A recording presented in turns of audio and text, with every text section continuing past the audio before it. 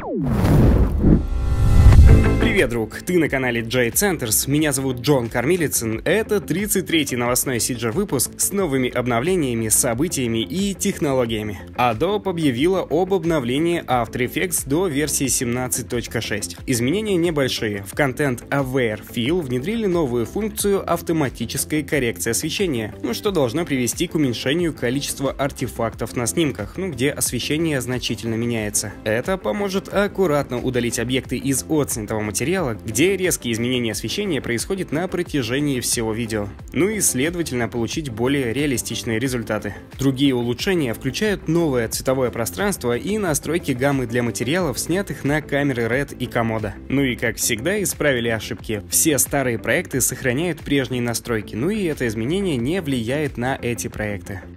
Sketchfab выпустили обновление плагинов для Unity, Cinema 4D и Blender. Плагины легко позволяют искать и импортировать модели в 3D Soft, а также публиковать работы непосредственно в Sketchfab. Во все обновления добавили возможность импорта покупок в магазине. Для Unity внедрили темный режим, ну и фильтр для поиска. Для Cinema 4D исправили ошибки и осуществили поддержку версии R23. Ну а в Blender устранили проблему с импортом Normal Map. Скачать плагины сможешь по по ссылочке в описании. Ребята из 3dmaya.com запустили бесплатный курс по моделированию в программе Maya. Интенсив для тех, кто не знает, с чего начать изучение моделинга, ну и хочет детальнее ознакомиться с профессией 3D-специалиста. Курс длится две недели с чередованием лекций и практик, представит основы моделирования, начиная от базовых по инструментам и до создания своей собственной high-poly, ну или low-poly модельки. Для геймдева, конечно, или мультфильма. Ссылочка в описании. Realusion обновила свой софт 2D анимации Cartoon Animator 4.4, вместе с которым выпустили 3D Motion конвертер и подключаемый модуль Motion Link для связи с iClone. Новая технология передачи движений позволяет импортировать 3D анимацию и проецировать движение на 2D персонажей, вплоть до кистей рук и пальцев ног. 3D обеспечивает анимацию по оси Z, ну которую для большинства 2D-шек практически невозможно создать по ключевым кадрам кадром. В то же время состоялся выпуск платформы Actor Core, содержащей коллекцию 3D-анимаций. С этим обновлением можно оживить 2D как с помощью собственного макапа, так и закинуть уже готовый набор движений из библиотеки. Редактирование осуществляется в реальном времени, ссылочка на программу в описании, обязательно присмотрись.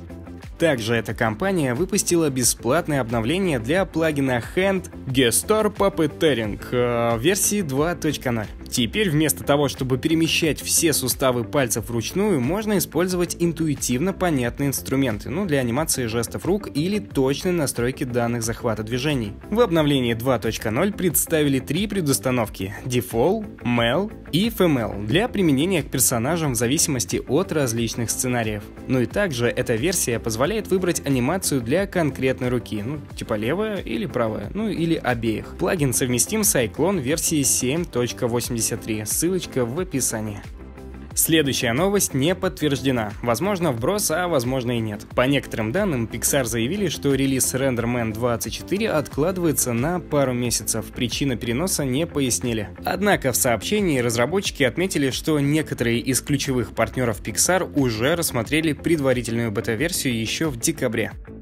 Arnatrix для Unreal Engine находится в стадии активного бета-тестирования. Недавно вышло обновление до версии 0.04, ну в котором исправили ошибки. Больше информации можно узнать в официальной группе Facebook. Кстати, там не так много участников, чуть меньше 50, ссылочка в описании. Ну а еще далеко не уходя, в Arnatrix для Cinema 4D, начиная со следующей версии, будет добавлена новая возможность запекания модификаторов, ну то есть кэширования внешних воздействий на волосы. Подходит для фиксации сложной укладки, ну или придания стабильности при анимации волос. Epic Games в сотрудничестве со студией Pure Polygons представили бесплатный ассет Downtown West. И все это на Unreal Marketplace. С помощью этого пака можно создавать модульные города, а также детализировать уютные туристические улочки с магазинами, вывесками и киосками. В коллекции более 300 моделей, ну и более 800 материалов и текстур. Также Pure Polygons предлагает расширить свой мегаполис, объединив Downtown West с уже имеющимися бесплатными ассетами Modular Building Set и Procedural Nature Pack. С выпуском Unreal Engine 4.26 выпустили обновление системы Control Rig Mannequin, объединяющий некоторые из последних возможностей. Эти улучшения включают в себя новый образец сцены анимации, элементы управления пальцами и Backwards Solve Graph, который позволяет покадрово преобразовывать анимацию. В дополнение к этому представили новые женские манекен. Zeya Interactive получил Epic Mega Grant. Помощь направлена на развитие разработки нового инструмента совместной работы в VR под названием Big Room. Согласно описанию, программа упростит создание и совместное использование онлайн-конференц-залов, где пользователи могут взаимодействовать, просматривать, а также изучать и редактировать проекты, созданные в Unreal. На официальном сайте можно подписаться на закрытое бета-тестирование состоялся релиз новой сборки Axiom от Мэтт Пучала. Разработчик принимал участие в создании таких фильмов, как «Звездные войны», «Аладдин», «Парк юрского периода», «Трансформеры» и «Star Trek». Axiom поддерживает только Houdini от SiteFX. Программа предназначена для сложных симуляций огня и дыма, ну и является альтернативой Sparks Pyrosolver в Houdini. Может использовать геометрические примитивы или VDB Volumes в качестве источников геометрии. Ну а еще включает в себя ускорение на GPU. Программа находится в бесплатном доступе и ссылочка в описании. NVIDIA анонсировала ноутбуки с графическими процессорами серии RTX 30, представили карту RTX 3060, а также новые игры, поддерживающие NVIDIA Reflex и RTX, но и еще новые мониторы G-Sans, мышки и многое другое. Итак, по порядку. Более 70 новых ноутбуков будут оснащены видеокартами серии RTX 30. В ноутбуке будут встроены новые тензорные ядра третьего поколения, которые обеспечивают работу NVIDIA DLSS DLSS, ну и рефлекс, что необходимо для генерации более четкой картинки в играх, ну и снижения задержки системы, соответственно, что также пригодится для рендеринга в реал-тайм движках. Если начну дальше говорить, то выглядит как реклама. Поставки ноутбуков на картах 3080 и 3070 начнутся уже с 26 января, ну а с RTX 3060 2 февраля. А вот карта RTX 3060 отдельно выйдет только в конце февраля. Ее стоимость будет начинаться от 329 долларов.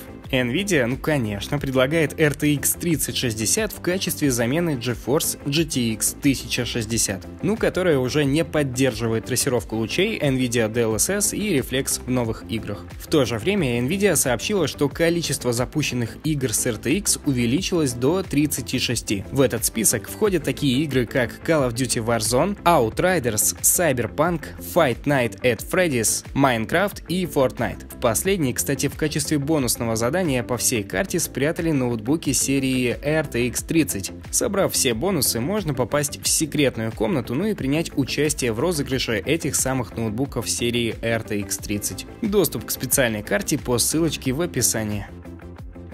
Forbes составили список лучших стартапов в области искусственного интеллекта. Список довольно небольшой. Всего было выделено 7 категорий. Лучшим продуктом стал Google Smart Compose в Gmail и Google Docs. Технология разработана для прогнозирования и автоматического продолжения текста, ну который пользователи планируют ввести. Самой революционной стала компания Nvidia. Как сообщает автор статьи, в 2020 году Nvidia совершила серию прорывов, которые значительно сократили объемы данных, необходимых э, в генеративных состязательных сетях. Эта технология используется в MaxSign, платформе видеоконференц-связи, которая, по словам компании, может десятикратно сократить пропускную способность звонков за счет точного определения ключевых черт лица для создания изображений людей, ну генерируемых и Человек года по версии Forbes AI GPT-3. Вообще, это языковая модель, которая в сентябре выпустила статью в новостном источнике Guardian, а после вызвала волну шума и споров. GPT-3 был обучен на огромных объемах текста, чтобы он смог писать как человек. По мнению Forbes, это представляет гигантский скачок в языковой обработке разработки.